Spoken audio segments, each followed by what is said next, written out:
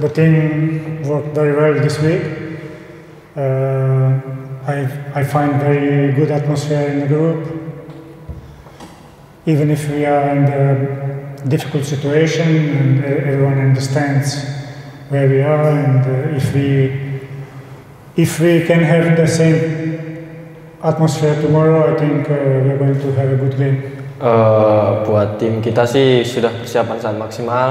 Uh, saya lihat teman-teman sang pelatih sudah excited buat pertandingan besok dan kita sudah siap untuk bermain on fire dan meraih tiga poin di kandang kita sendiri. I will say still to decide because some players they came new and I think it's uh, the most important thing is uh, not who is going to play. I think the we are conscious, the players are conscious that uh, the situation is not, not easy, but whoever play tomorrow, I think we, we should play for the team and everyone has to give 100% for the team.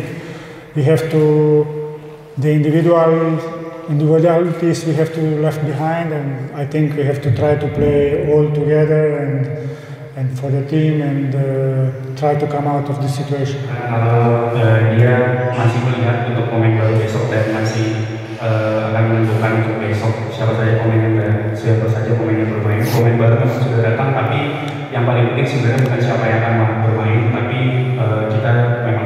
situasi yang uh, sulit. Juga pemain yang bisa bermain besok adalah pemain yang memang benar-benar siap dan pertandingan besok tidak mudah untuk kita. Pemain yang bermain besok itu harus bisa memberikan 100% dan kita juga harus bermain secara bersama dan kita bisa keluar dari situasi. I think uh, everyone has to accept the situation. It's not good for us, obviously, playing without our fans. We would like to see them there and to uh, try to win all together. And of course, it's very important to have them behind us and support us during the game. And but uh, the situation is how it is, and we cannot change it. So tomorrow is the most important thing, as I said to fight for the team, for, for the club, and uh, to be together and uh, playing as a team and uh, work hard for 90 minutes to, to get the three points tomorrow. Uh, Coach mengatakan uh, kita sudah kita sadar kalau kita sedang berada di satu situasi yang sulit. Apalagi kita besok akan uh, tidak dihadir oleh pendukung kita, mereka akan tidak bisa melihat kita secara langsung.